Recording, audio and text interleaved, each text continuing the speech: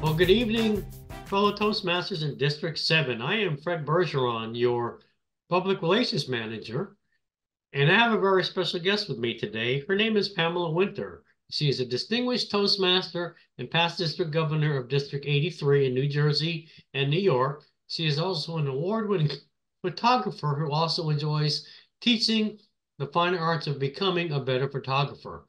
She is a founding member of LensMasters Advanced Toastmasters in District 84, where she delivers photography speeches and offers feedback to others seeking to better their craft, whether it's Toastmasters or photography. Mind you, everybody, she will also be 21 in five days. Please welcome to the virtual lectern my friend, distinguished Toastmaster, Pamela Winter. Thank you, Fred. It is an honor to be here with you. I'm very excited to present for District 7, my friends on the West Coast. I am a native Californian, and I lived in the Columbia River Gorge in Washington, so I know that we're covering all of this area, and I get to see all my old, old friends from way back. What I'd like to do is talk to you about the camera that everyone has in their back pocket or their pocketbook. And we carry it with us for every single occasion. Most of our pictures look like they belong on Facebook. There are a few ways to learn how to take better cell phone photography so that you can enter them into competitions or be really proud to show your friends the work that you can do with this magical little box that fits in your pocket. So I'm going to go into a presentation I have right now. If you will bear with me, I'm going to take you through a little trip around the world, well, around the US.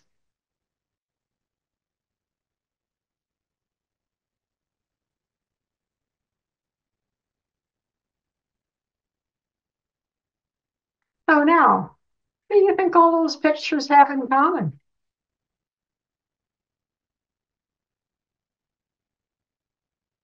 Yes, they were all taken with a cell phone camera. And to me, I think that that's just fun. So, what there are five elements of a good photo. It must be in focus. It must be properly exposed. You should have good composition. You'll want to tell a story with your picture, and that's done through your subject matter and any post-processing. For those of you who say that post-processing isn't necessary, I like a picture that's just as it was taken. I'll tell you, post-processing is necessary because the camera's vision is not as good as your eyes. So let's start with focus. You can handhold your camera. You can support it on a tripod or a horizontal platform with a vertical support. You want to engage your focus lock. Be careful with your zoom and go to wide angle. Now I'll be talking mostly about an Apple phone, an iPhone, because that's what I use. I do know that other photographers who do not use an iPhone have just as good of a camera in their phone, whether it's an Android or a Samsung or a Huawei. There are great cameras being manufactured in cell phones. Now, let's go to how to focus with your camera. And that is very easy compose your picture on your screen and then just touch. Leave your finger there for a while and you will engage the auto exposure and auto focus lock. It's a little yellow square on your screen, and you will see it when you remove your finger from the screen. Things within that yellow square should be in focus because you've just told the camera what you want in focus by touching that little square. And that's pretty easy. I not to dial in your focus camera, but to just touch the screen, it works very well. Now you can hold your camera upright. You can hold it sideways. You can pinch to zoom, unpinch to unzoom. But what let's talk about that focus, autofocus, and auto exposure. There is something in your camera, in the app, that you should engage, and that is the grid lines. Go to your camera app within your phone and you'll see something that says grid lines, turn them on. That will help with your composition. In the meantime, we know how to focus. Touching that screen will always work. So now we're going to talk about exposure, a dark subject with a light background results in silhouettes. That means that any kind of detail that you wanted in the foreground is going to be blown out. It's not going to show. It will be in shadow. This is not a well exposed picture. It's a funny one, but you can see outside the window just perfectly, while everything inside looks rather dark. So how do you fix it? You want to lighten it up with your auto exposure. A light subject with an even lighter background is going to give you blown highlights. And that's not a good look for your picture either. All that beautiful greenery outside that window is just faded to white. So how do you fix that? You go into your camera app and you turn on your HDR. That stands for high dynamic range. What will happen is that your camera will take three pictures. It will take an overexposed one, it will take an underexposed one, and it will take one that it thinks is right on the money and then it will combine them. That's to me is just magic. It's absolute magic. What does that look like? Not the best, but certainly the best of what we saw between the two pictures that I showed you earlier.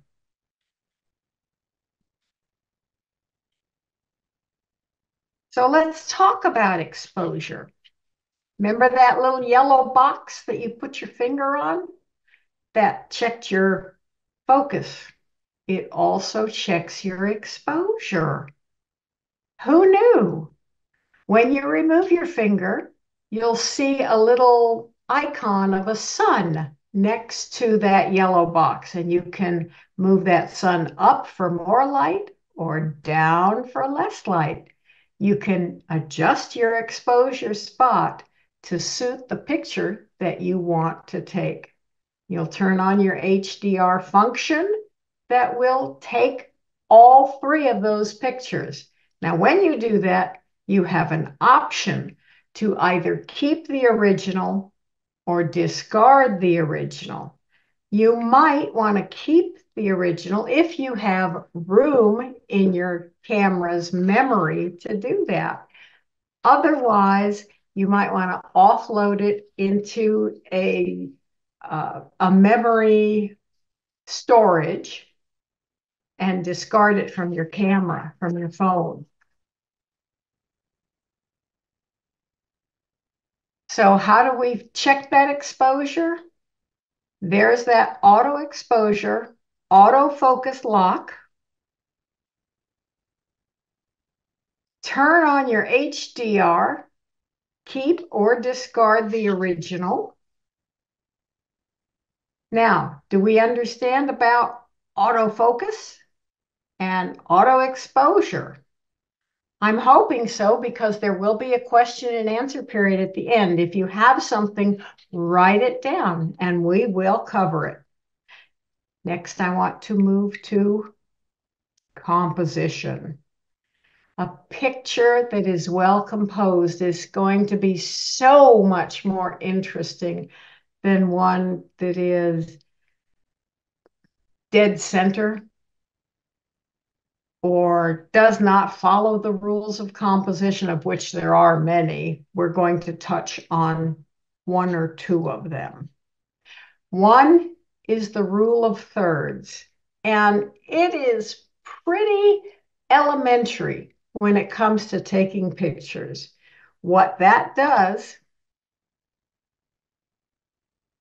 is divide your screen. Three lateral, three up and down, so that you have nine equal squares. And then compose your main subject on any of the adjoining intersecting lines. Or you can just turn on the grid lines in your camera app and it will show you that. You'll want to align your subject in any of those one, two, three, four intersecting lines. This is a picture that is superimposed with those intersecting lines, and you will see that the horizon falls exactly on that top third line with the sun almost reaching that juncture of the meeting of the lines, but solidly within one of those squares. But now let's talk about subject matter. It's just like Toastmasters. If you are creating a speech, you're telling a good story. A prize winning speech tells an exceptional story. A prize winning photo also tells an exceptional story. If you're photographing a sunset, and a lot of people do because it's beautiful, you want to capture it, you want to never forget it. But let's add something to that picture that allows you to see where you are, some interest to the picture. Tell a story. That's right. You're going to tell a Toastmaster story with your picture. So that's a sunset. What about people? Add a human interest. Tell a story. Once again, superimpose in your mind that rule of thirds, and you will see that the man's body is online in that right hand section. And the motorcycle is on the lower one third line. Scenery, tell a story, fill the frame. Nothing in this picture or rather, everything in this picture is needed to tell this story. The foreground trees, the bridge, the rain that you see against the bridge. This is a beautiful picture of, of uh, New England. I lost it. There it goes. And that is the, the most photographed covered bridge in the United States. It crosses the Connecticut River. So there are several photo editing apps for your cell phone. because I said, remember in the beginning, every picture must be processed. There is a native or built-in editing for your pictures. Snapseed is an app that is free. It's owned by Google. It is on the Nik, N-I-K, photographing platform. It's a very robust editing app and it's free. VSCO is free. It's got a little deeper learning curve, but if you like having the ability to take care of your photos the way you want them done rather than uh, uh, an app that gives you several options of what they think is better, then go to VSCO because that will allow more freedom for you. Now, these prices are pretty old. So a slow shutter cam, I believe, is now $5, six, maybe more. Pro camera, I know, is $12. Lightroom CC, that's classic Lightroom for mobile devices. Add it to your phone, is free. That's Adobe Lightroom.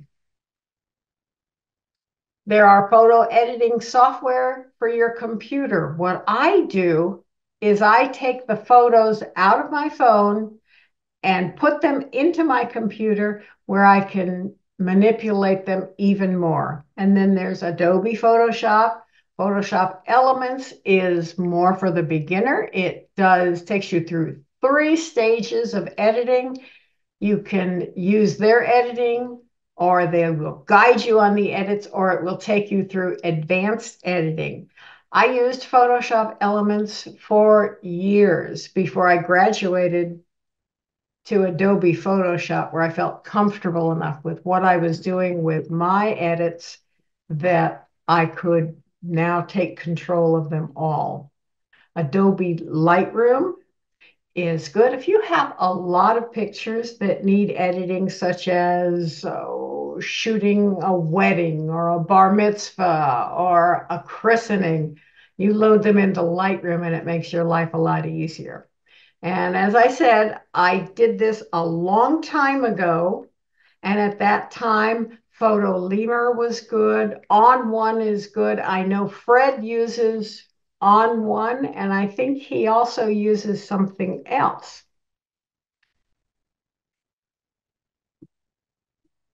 So now I do have time for those questions if that's what you are interested in. I'll take the questions. Thank you, Pam. We have a guest on, Elios. Um, he may put his questions in the chat because he's at work. But yes, I played around with On1 and I use something called Luminar. I use AI and I use Neo. I like both of them. Nothing against Adobe. I like using Photoshop Express now, it's not as in depth as Elements, but you can also use it on your phone. And I like to tell people if you're going to at least take photos with your phone, you need to do some basic editing. Like if your exposure is not right, like you talked about earlier, you can easily fix your exposure in in Photoshop. And I know that the iPhone has a native editing app. I use an Android phone. The Google Pixel has its own native app, and you can do a little bit in Google Photos too. But I found out with the Google Photos, you can only do the editing on a mobile device. You can't do it on a computer. So that was one thing I found out. How long have you been doing photography? A long time. Let me see. Uh, in a few days, I'll be old. 21. yeah, again. and I have been shooting probably since I'm 12 or 13. So we're looking at close to 65 years. And what got you interested in photography? I've always been interested in the arts. I I used to paint, I used to draw oil pastels, and then I found a camera. My first camera, I have to tell you, was about this big and it was made out of cardboard, black cardboard. It was a Brownie box camera, a Kodak, not a Brownie, before Brownies, Kodak box camera. And I shot black and white film, but I took it with me everywhere. And it, it didn't take bad pictures. It just wasn't as sophisticated as the cameras today. Was that considered a pinhole camera? No, no, okay. it, they're probably two steps up from a pinhole. okay. Because I, I learned it. I, I took a photography class with a photography club back in Georgia, and someone was talking about a pinhole camera. I went, well, that's a cool concept. Yeah, I took that with me to the Seattle World's Fair in 1962. So my next question is, a lot of people have cell phones, like you said, the majority of the population does. Now, just because people have a phone and they take photos, do you think that makes them a photographer? They like to call themselves a photographer. I shot, I was a professional photographer shooting weddings. I was not, it, weddings are not a repeat business. You, you, you sell yourself once, people assume they're only going to get married once. so it's it's not a repeat business. You have to sell yourself on the quality, and then people want pricing.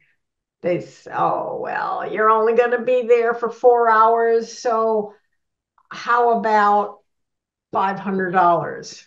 Well, they don't talk about the hours that I spend scoping out the venue or the plans that I make where I look to see what time of day it is, the light coming in the windows, the light outside, the time of year it is. I shoot engagement photos and then they they don't look at the time that I spend downloading the pictures, um, culling them, and post processing. I had one woman that was she was a very large woman and she thought that I could take a hundred pounds off of her with Photoshop. And she wanted a thousand pictures that I took with every one of them doctored to do that. If that had been the case, I would probably be still editing them. Yes, been there, been there, done that. So my next question, Pam, is with wedding photography, and I used to be in real estate, and real estate, do you think it's appropriate to take photos with a cell phone?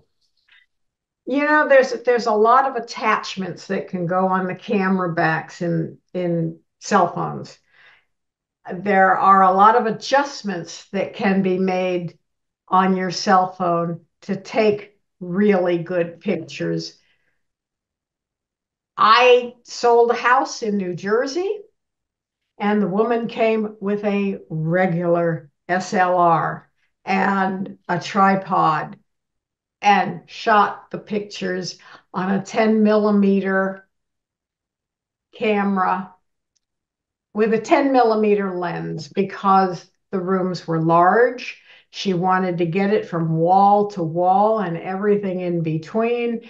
And sometimes you cannot do it without parallax error on a cell phone. Parallax error are those converging lines when you see it's kind of like a, a fisheye lens, but not quite. If the camera is not level, the uprights will will fall in or fall out. That's that's a parallax error, and it is not attractive for real estate photography. If you know how to use a cell phone to avoid that, then use a cell phone. If a big camera is too heavy to carry around, then invest in a mirrorless camera, which is a lot lighter and takes far superior pictures. Yes, Cell I have. phone, Mhm. I have. I have both. And I was in a situation before as a realtor. I was also taking uh, listing photos for a friend of mine, and I had a challenge with one of the bathrooms. It was just real narrow, and I just I could not get the right shot with my DSLR. So I played around with my cell phone with different angles, and I had a little mini tripod. So I put it on the floor and angled it. I was able to take better pictures of that bathroom with my cell phone than with my DSLR. But all mm-hmm. the other photos I could take with my DSLR. So I really think it depends on your environment, your, your situation. Because I always tell people, Pam, from a professional perspective, you're not paying for the equipment, you're paying for the end result. And a lot of mm. times, based on what you said with your settings, if you know your settings, your exposure, and things like that, people aren't going to know the difference unless you tell them. They're literally not going to know the difference. So, what do you Yeah. think about that? well, you can go on to Zillow and look at all of the houses for sale. Which ones are you going to spend time actually looking at the pictures? The professionally taken pictures are the are the houses that sell faster because they're more attractive, because the photographer knows how to adjust the lighting either pre or post. They know how to adjust the camera angles when they're taking these pictures. And I don't care if you're taking it with a cell phone or with a DSLR. If you're a professional photographer and you know what you're doing, that house is going to sell a lot faster with the right pictures. Yes, And really, isn't that what a realtor wants? right. And and I think it's the same with photos in general, Pam. It's just it's a lot of common sense. You know, you don't need a cell phone camera or a DSLR if there's clutter in the house. You know, remove the clutter. You know, a DSLR or a cell phone camera is not going to make the difference and fix that clutter. Mm-hmm. It's Mm-mm. just, it's all about common sense. Just like when you were talking about composition, you know, one of the most common things is something behind the head, and it looks like it's attached to their head. You don't have to have a special camera for that. It's all about common sense. If people don't realize that, you know, is is is I think think before you shoot is kind of like what I like Well, to say. Yeah, a, a good photographer will check the entire frame, not just the subject. You're looking at a subject, and we've all seen those things on Facebook where a dog photo bombs the wedding pictures by Mhm. using the the lawn behind him as his toilet. And it just, come on, just just check from front to back and side to side. Everything is going to be recorded. So do a good job. Okay, well, thank you, Pam. And do you have any final words, words of wisdom for those aspiring photographers, whether they use their cell phone or not, on how to be better photographers, whether they get paid or not? Yes, I do. And I will tell you, I've been taking pictures for, like I said, almost 65 years. I've seen a lot of cameras come and go. I've seen a lot of trends come and go. Always be learning. Always take the time to learn the new trends, to learn the new cameras, to learn what it is you're taking a picture of, and, and learn how to do it better. Because the better you are, the more your pictures are going to be seen. Always be learning.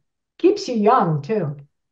Yes, I hear you, Pam. I, I feel the same way. I'm always learning. I feel I'm a decent photographer, but I learn every time I take photos. I've learned a lot from you, and it's, I learn a lot just from looking at the photos, going, wow, okay. you know, I should have done this better, or that's why I to take more than one photo. Because out of, let's say I take 10 photos, one of the 10's bound to be better out of out of all of them. Or someone's got their eyes closed, or someone sneezed, or like you said, the dog photo bombs someone in the picture. You know, out of those 10, I'm bound to get one or two good ones. You know, I I spent a lot of time working on a newspaper, and at that point, I had one camera, one roll of film, and three assignments for the day. And I had to take all of those assignments and fit them into 12 frames. That means you take one picture and it better be good because that was the only one you got to, t- to take for. Yes, I hear you. That's that's really when you have to, like you said, look at your frame and really be careful about that. Well, thank you, Pam. Before we wrap up, I'm going to announce our next guest, who you may know. Our next guest is going to be past District Director Becky McGilton from District 84, who will be telling us about Meetup on February the 13th. So stay tuned if you want to learn more about Meetup Tune in same bat time, same bat channel. I'm Fred Bergeron, signing off as your Public Relations Manager. Thank you once again, Pam Winter, for gracing us with your presence and educating us on cell phone photography. And I will say good night and peace out, everybody. Bye bye.